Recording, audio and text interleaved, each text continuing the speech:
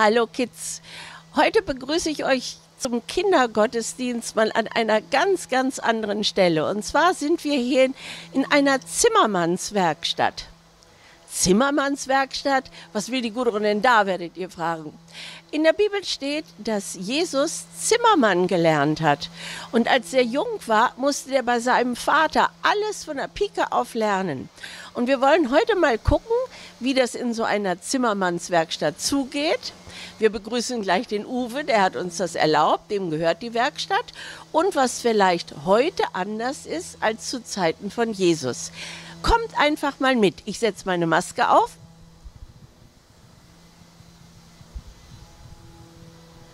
So, und jetzt wollen wir mal gucken, ob wir den Uwe treffen.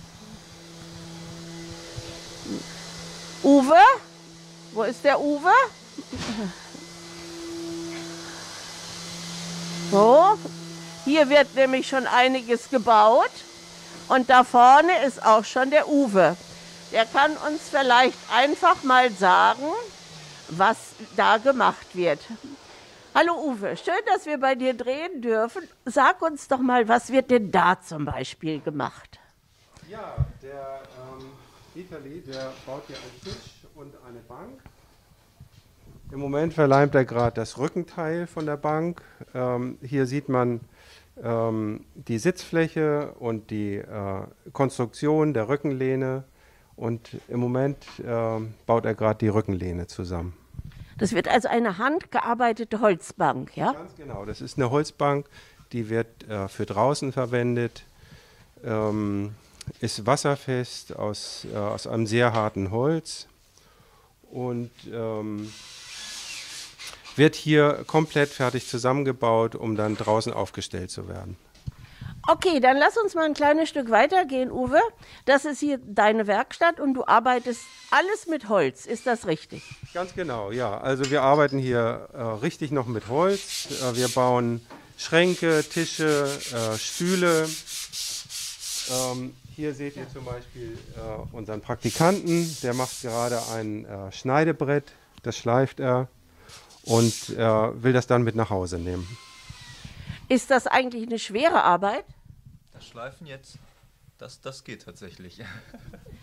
das Okay, Uwe, wir haben gesagt, Jesus war ja auch Zimmermann. Und jetzt zeig uns doch mal, du hast uns versprochen, das mal ein bisschen zu erklären, was war damals anders, als es heute war.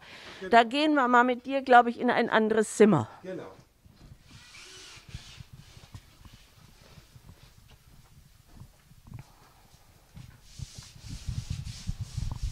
Also wir haben hier einen Bankraum. Hier kann man ganz ja, einmal rundherum. Da kann man ganz gut sehen. Ähm, äh, ich habe hier ein paar Sachen hingestellt. Wir haben hier zum Beispiel eine Scheibe von einem Baum. Ähm, das ist ein, äh, eine Scheibe von, einem, von einer Eiche. Ähm, da ist der Baum einmal quer durchgeschnitten. Hier sieht man äh, ein, ein Stück von einem Brett. Hier ist noch die Baumkante dran. Da kann man ganz gut erkennen, wo früher der Baum rund gewesen ist. Das ist hier zum Beispiel ein Stückchen Nussbaum. Und äh, um das, äh, um zu erklären, was der Unterschied von damals und heute ist, äh, habe ich diese Sachen hier hingelegt. Früher hatte man einen Baumstamm, dann wurde der Baum gefällt, dann wurde der Baum in Bretter aufgeschnitten. Das passiert heute auch noch. Aber heute macht man das alles mit Maschinen. Die Bäume kommen in ein großes Sägewerk, werden aufgeschnitten, klein geschnitten und wir kriegen dann äh, die Bretter und auch die, ähm, äh, und die äh, Bohlen bekommen wir hier in die Werkstatt geliefert. Früher bei Jesus war es ganz anders. Da sind die losgegangen, die Zimmerleute. Die haben dann ein, ähm, die, soll ich das mal nehmen? Ist okay, ich halte schon. Du okay. Ähm, dann haben die, ähm, dann sind die losgegangen mit Sägen äh, in den Wald, haben äh, Bäume geschnitten, haben die in Bretter geschnitten und zwar alles von Hand. Und dann haben sie die Blätter, Bretter glatt gehobelt, um, um daraus wieder was zu bauen. Hast du denn mal so einen Hobel da, wie man sowas mit der Hand ja, macht? Natürlich, klar. Also ich habe hier mal ein kleines Stückchen Brett hingemacht. Wenn, wenn wenn man zum Beispiel jetzt so eine raue Brettkante hat und die glatt haben will, muss man natürlich das Brett einspannen und dann mal geguckt, ob der Hobel auch scharf ist. Und dann wird das glatt gehobelt.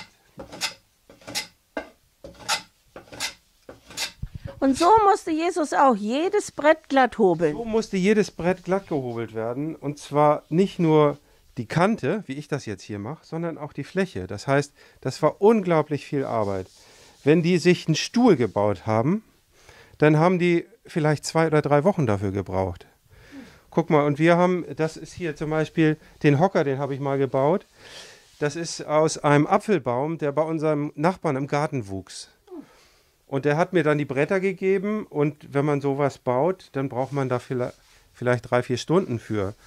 Und wie gesagt, zur Zeit Jesus hat man da vielleicht eine Woche für gebraucht, weil man musste erstmal den Baum fällen, man musste die Bretter schneiden. Das musste alles glatt gehobelt werden, die Verbindung herstellen.